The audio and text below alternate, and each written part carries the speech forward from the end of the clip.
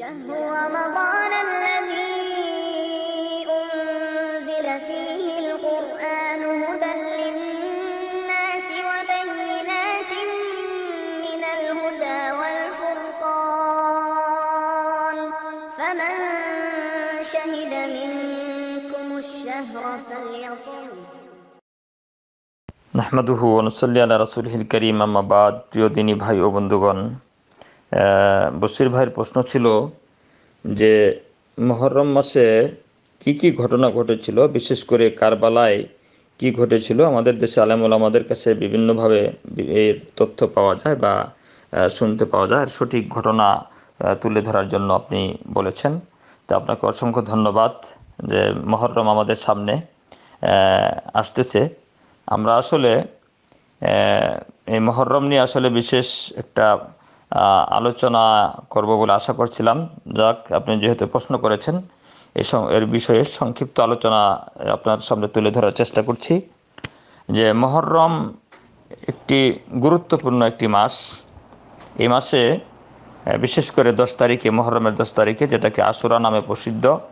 এই আশুরায় আহ, দশই মহরমে অনেকগুলি ঘটনা ঘটে গেছে। তার মধ্যে উল্লেখযোগ্য কয়েকটি ঘটনা হলো যে এই দশই মহরমে এই আশুরার দিনে আল্লাহ রাবুল আলমিন নবী মুসা আলাহ সাল্লামকে সহ তার কিছু অনুসারীদেরকে ফেরাউন এবং তার সৈন্যবাহিনীদের কবল থেকে তিনি রক্ষা করেছিলেন এবং ফেরাউনকে এবং তার সামরিক বাহিনী সহ পানিতে ডুবিয়ে মেরেছিলেন।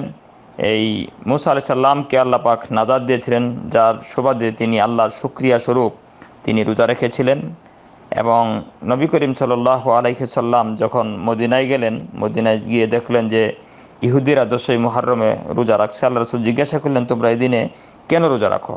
তখন নবী করিম সাল্লাহ সাল্লামকে তারা উত্তরে বলে, যে এটা আমাদের জন্য বড় একটা দিন। এই দিনে আল্লাহ পাক নবী মুসা আলাহ সাল্লামকে তিনি ফেরাউনের কবর থেকে রক্ষা করেছিলেন। সেই দিনের স্মরণার্থে আমরা এই রোজাটি রেখে থাকি। অর্থাৎ মুসা আলাইহিস সাল্লামের সেই স্মরণার্থে আমরা এই রোজাটা পালন করি। তখন নবী মোহাম্মদ সাল্লাম বলেছেন যে, নাহনু আহাক্কুবি মুসা মিনকুম। আমরা তোমাদের চেয়ে মুসা সাল্লামের উপর বেশি হকদার। আমার নবী সাল্লাম বিসিয়ামে, সুতরাং নবী সাল্লাম মহরমের দশ তারিখে রোজা রাখার নির্দেশ দিলেন এবং যতক্ষণ পর্যন্ত রমজানের রোজা রাখা ফরজ না হয়, ততক্ষণ পর্যন্ত এই মহরমের রোজা রাখা মুসলমানদের জন্য ওয়াজিব হিসেবে ছিল। যখন রমজানের রোজা ফরজ হয়ে যায়, তখন এই মহরমের দশ তারিখের রোজা এখতিয়ার এসে যায়। ফামান শাহ আসামা মান শাহ আলাম এসম যে ব্যক্তি ইচ্ছা করবে রোজা রাখবে, যে ব্যক্তি ইচ্ছা করবে না, রোজা নাও রাখতে পারে। তবে মহরমের দশ তারিখে বা এর একদিন বা পরে তার একদিন আগে বা পরে, অর্থাৎ নয় এবং দশ অথবা দশ এবং এগারো তারিখে কেউ রোজা রাখলে যে এক বৎসরের গুণা আল্লাহ পাক মাফ করবেন। তো আমরা মহরমের দশ তারিখে অথবা নয়, দশ অথবা দশ, এগারো রোজা রাখতে পারি। রোজা রাখার ফজিলত হলো যে আল্লাহ পাক এক বৎসরের সগিরা গোনা মাফ করবেন।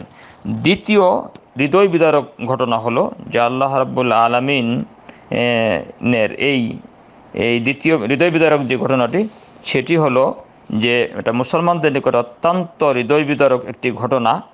যে ঘটনায় যে দিনে, অর্থাৎ এই দশই মহারমে নবী দৈহিত্র ইমাম হোসাইন রাজুকে এই দশই মহারমে কারবালার প্রান্তরে নির্মমভাবে শাহাদত বরণ করতে হয়েছে যার নেতৃত্বে ছিল ওবায়দুল্লাহ বিন জিয়াদ যার নির্দেশে সমর জয়সুন এবং সিনান বিন নাকি তারা অতর্কিতভাবে হামলা করে এবং আহ, আহলে বায়াতের অনেক সদস্যদেরকে ঝাঁপিয়ে পড়ে তাদেরকে শাহাদত বরণ করান তাদেরকে হত্যা করে ফেলেন। যখন তাদেরকে শাহাদত বরণ করিয়ে এবং হোসেন রাজিল্লাহ হত্যা করে খবরটা এজিদ বিন মোয়াবিয়া রাজিল্লাহ কাছে পৌঁছে। এজিদ বিন মোয়াবিয়া রাজিল্লাহ আনহু চোখের পানি ধরে রাখতে পারছিলেন না। তিনি আহ, ওবায়দুল্লাহ বিন জিয়াদের প্রতি লানত করেন অভিশাপ অভিশাপ করেন এবং আহলে ইরাকদেরকে বলেন যে তোমাদের আনুগত্যে খুশি ছিলাম ততক্ষণ পর্যন্ত যতক্ষণ না তোমরা অর্থাৎ তোমাদের আনুগত্যের প্রতি আমি পূর্বে খুশি ছিলাম। হোসেন রাজুকে হত্যা করার পর আর খুশি থাকতে পারলাম না। অর্থাৎ হোসেন রাজুকে হত্যা করার পূর্বেই তোমাদের প্রতি সন্তুষ্ট ছিলাম। অর্থাৎ তিনি বলে বোঝাতে চেয়েছেন যে আমি হুসাইন রাজুকে হত্যা করাতে সন্তুষ্ট নই। সুতরাং যারা সরাসরি এজিদ বিন মোয়াবির রাজুকে হুসাইন রাজুর হত্যার বিষয়ে দোষারোপ করেন সরাসরি। আসলে বিষয়টা ঠিক নয়। তিনি আসলে এই হত্যার পিছনে তার কোনো নির্দিষ্ট কোনো ইন্ধন ছিল বলে স্পষ্ট কোনো প্রমাণ বহন করে না। এটা আসলে সামরিক বাহিনীদের কিছু কুচক্রিক কিছু লোকের কারণেই, বিশেষ করে ওবায়দুল্লাহ বিন জিয়াদের নেতৃত্বে তার নির্দেশেই এই হত্যাটি ঘটনা ঘটনা হয়েছে এবং যারাই ঘটিয়েছে, ঘটনাটি ঘটেছে, তারা আসলে ক্ষতিগ্রস্ত। তারা বিচারের সম্মুখীন হবেন। কিন্তু এই হত্যা ঘটনা করা ঘটনার কারণে হুসাইন রাজাল্লাহ আনহর মর্যাদা শান আরও বেড়ে গেছে। তো আল্লাহ পাক তাকে শাহাদতের মর্যাদা দিয়েছেন। তিনি সৈয়দ সাবাব আহলের জান্নাত, জান্নাতে সাবাবদের সর্দান তিনি হবেন। সুতরাং মুসলমানরা শাহাদত বরণ করাতে তাদের মর্যাদা আরও বৃদ্ধি পায়।